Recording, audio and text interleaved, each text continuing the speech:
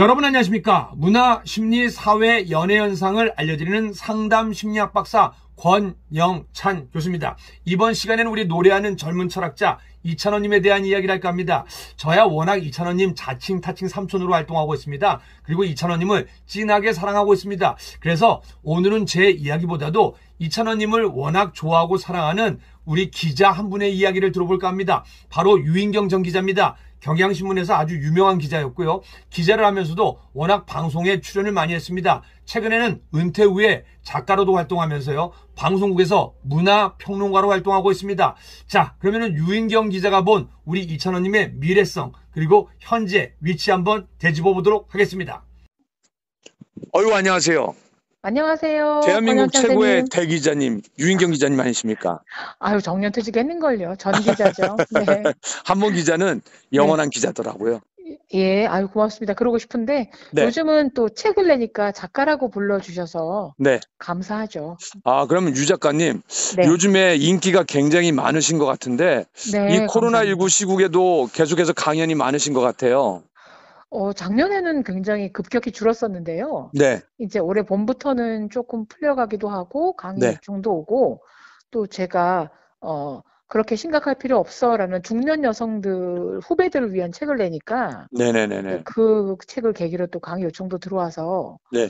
감사하게 생각하고 있습니다. 어우 저한테도 자료 주시면요 제가 연예부 네. 기자들한테 좀 돌리겠습니다. 괜찮습니다, 괜찮습니다. 이 방송만으로도 충분한 홍보입니다. 네, 아니 최근에 강연 섭외가 10건이 왔는데요. 네. 그 중에 8건이 다 유인경 기자님을 섭외하는 건이에요. 아 브라보, 감사합니다. 아, 만세 네. 만세. 요즘에 방송은 뭐뭐 하세요? 어, 뭐 동치미는 여전히 나가고요. 네네네. 예, 뉴스파이터라는 시, 그 시사 프로그램도 나가고, 네. 가, 아침마당 뭐 그리고 음. 간간히 어, 최근에 또 이제 욕을 먹긴 했지만 조영남 선생님 네네. 친분이 있어서 할리만한 남자에도 뭐 출연을 네. 해서 뭐 곧 네. 나갈 예정이고요. 네. 네, 아유 뭐 의리가 있으니까 나가셔야죠. 네. 남편분도 형님도 잘 계시죠? 어, 지나치게 잘했습니다. 아, 네네네. 네. 이번에는 좀 이찬원님에 대한 소식을 묻고 싶은데요. 네. 우리 이찬원 씨 이제 데뷔한 지 1년 반밖에 안 됐는데 새내기거든요. 네. 근데 TV조선의 화요청백정 그것도 그 까다롭기로 유명한 이희재랑 같이 더블 MC를 맡았습니다. 네. 근데 신고식을 너무 잘해서 너무 잘하고 있다라고 여기저기에서 네. 방송계에서 칭찬하는데 우리 유 기자님이 봤을 때는 어떻습니까? 저는 이찬원 씨가 이제 노래만 부르는 게 아니라 네. 그뭐 탑6 그 나왔을 때라든가 음. 뭐 사랑의 콜센터에서 보여주는 뭐 네. 이런 것들 뽕숭아학당 이런 데를 보면 아, 저 친구는 MC를 해도 되겠구나. 이런 음. 걸 굉장히 많이 느꼈어요. 스포츠 캐스터도 워낙 잘하고요. 그렇죠. 그다음에 뭐 그 트로트 역사만이 아니라 가요 거를 완전히 그 꿰뚫고 있어서 아, 총명하고 재치가 있고 유머 감각이 있다라는 거는 아마 많은 시청자들이 공감을 했을 겁니다. 네네 이제 그 재치, 그다음에 일단 너무 또 보면 아 조카 삼고 싶다, 뭐 아들 삼고 싶다, 뭐 이런 느낌이 날 정도로 좀 귀엽잖아요. 맞아요. 네. 귀엽잖아요. 그 때로는 또 개구장이 같이 보이기도 하고 음. 또 이런 그 밝은 기운이 어, 그런 프로그램에 가서 음. 잘 발휘되고 있는 것 같아서 네네네. 예, 박수를 좀 보내고 싶고요. 그다음에 이제 뭐 젊은 좀 분위기를 몰아서 음. 어, 다른 어떤 데서보다 잘할 수 있을 것 같습니다. 그리고 또 매주 수요일 날에는 또 뽕숭아학당 끝난 다음에 플레이리스트라고 우리 또 김희재 씨랑 더블 MC로 또 플레이리스트를 진행하니까 사실은 네. 9월에 계약이 끝나고 여러 곳에서 방송 MC로 노리는 또 가수 중에 한 명이 이찬원이더라고요. 못할 거 아무것도 없죠. 학교 네. 다 마쳤죠. 뭐 군도 다 갔다 왔죠. 노래 잘하죠. 말 잘하죠.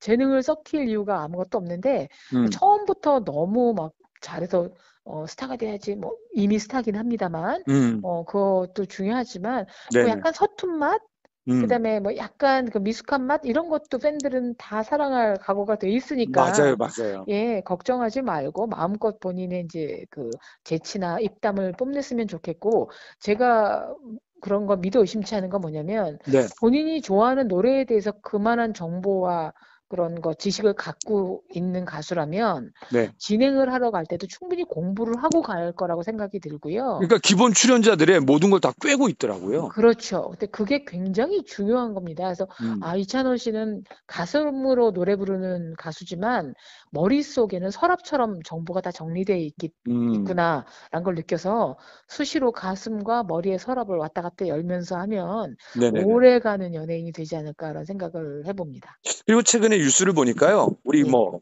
우리 동갑인 친구 황윤성이의 밥값을 자주 내주고 선물도 많이 해주고 네. 또 스탭들의 밥값을 자주 내주는 연예인으로 네. 뭐 근데 팬들이 봤을 땐 즐거운 걱정 아닙니까 이런 거?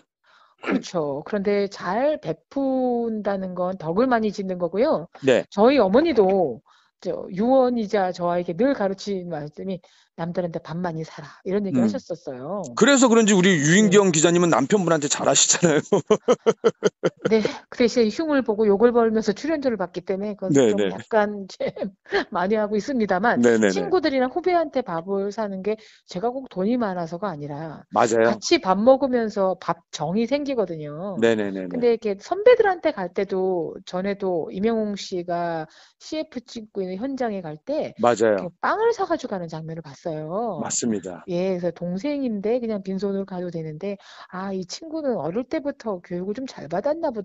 음. 엄마 아버지가 식당 하시면서 잘 베푸셨나 보다. 이런 음. 생각을 했거든요. 네네네. 그래서 모든 사람들한테 밥 추억을 남기는 친구기 때문에 그런 인연들이 더 오래 갈 거란 생각이 듭니다. 네. 그러면 만약에 우리 이찬원님이 우리 유 작가님 앞에 나타났다면 어떤 얘기를 해주고 싶습니까?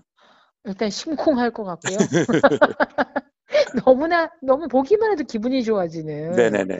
그래서 이찬원 씨한테는 이렇게 사람이 얼굴에서 이제 이제 아내의 마음이 드러날 나이가 됐어요. 서른이 넘으면 이제 서른 아직 안 됐지만 네. 저 이찬원 씨한테 지금의 밝음, 음. 네, 지금의 감성 뭐 이런 걸 잘 유지하기 위해서 그 주변 사람들하고 계속 잘 지내고 네. 그 아무리 지금 진행자로서 요청이 많이 온다 하더라도 네. 이찬원 씨의 기본은 가수이기 때문에 맞아요. 우리에게 기쁨과 행복을 주는 노래 더 많이 진하게 찬또배기로서만이 아니고요. 음. 저는 그게 어떻게 보면 이찬원 씨를 너무 좀 틀에 끼워놓은 게 아닌가 싶은 음. 생각이 들어요. 맞아요. 찬또배기 이찬원... 말고 수많은 곡을 잘하는데. 그렇죠. 다른 장르에도 좀 도전을 해봐서 네. 예, 뭐 100세 시대인데 나이 들어서까지 훨씬 더 우리에게 시대 시대마다 기억에 남는 음. 가수가 됐으면 좋겠고요. 뭐 부탁드리거나 할 말도 없이 지금처럼 잘했으면 좋겠습니다. 네. 그리고 우리 또 우리 이찬원님의 팬덤도 지금 제가 방송을 하다 보니까 가장 네. 빨리 성장하고 있는 팬덤 중에 하나거든요. 네. 근데 우리 찬스 여러분들에게 좀 부탁의 말을 하신다면 어떤 말씀 해주고 싶으세요? 근데 이게 있더라고요. 그 팬들은 우리가 이렇게 사랑을 하니까 네. 그 연예인도 우리한테 사랑을 좀 보답해줘. 음. 라고 해서 요새는 이제 그 역, 역조공을 한다 그러나 뭐 이런 게 네네네. 굉장히 많더라고요. 네네네. 그런데 우리가 사랑하는 이유가 뭘까를 먼저 좀 생각해 봤으면 좋겠어요. 음. 우리는 이찬원 씨 노래를 사랑하고 네. 이찬원 씨가 같이 더불어 성장하길 바라는 거지. 우리가 이렇게 뭐 선물도 주고 사랑하고 하니까 당신들도 우리한테 뭐 신경 써줘. 음. 그거 마음은 다 비우시고. 네네네. 처음 우리가 이찬원 씨의 팬으로 선언한 것처럼. 맞아요. 나쁜 일 하면 채찍도 하고 조언도 음. 하고 네. 뭐또 해주셔야죠. 당연히. 네네네. 예, 사랑하는 사람이 실수하면 바로 잡아줘야 되겠지만 네. 잘하고 있을 때는 마음껏 잘하는 것. 또 음. 팬들 때문에 너무 의식하지 않게 음. 그냥 그렇게 그렇게 이렇게 무한 성장을 지금 하고 계시다니까. 네네네. 어, 보니까 가끔 뭐 이견이 엇갈리는 다른 팬클럽들도 있더라고요. 맞아요, 맞아요. 그래서 대동단결에서 이찬원 씨가 아, 팬들 덕분에 제가 이렇게 성장했습니다라고 확실히 느낄 수 있도록 음. 이렇게 물도 주고 햇살도 뿌려주고 뭐 그러는 찬스님들이 이 지금도 이시지만 네. 네, 계속 지속적인 사랑 좀 주셨으면 좋겠습니다. 사랑 해서 마땅한 아주 찬스 잘 고른 분입니다. 네. 야 멋진 말입니다. 저도 네. 무한적으로 네. 우리 유인경 작가님을 강연 시장에 쭉쭉쭉 밀도록 하겠습니다. 충성 감사합니다. 감사합니다. 바쁘신데도 불구하고 우리 이찬원님에 대해서 인터뷰를 해주신 우리 유인경 전 기자님께 너무너무 감사의 말씀을 드리겠습니다. 우리 찬스 카페 여러분들 오늘 하루 이찬원님의 노래 듣고 총공하고 스밍하시면서 오늘 하루 행복하고 최고인 하루가 되십시오. 이찬원님 최고입니다. 근데 이찬원님만 최고되면 안 되는 거 알고 계시죠? 이찬원님을 사랑하는 마음으로 우리 찬스 카페 한 분 한분 최고가 되시길 바랍니다. 이찬원 최고, 찬스 카페 최고, 우리 모두 최고!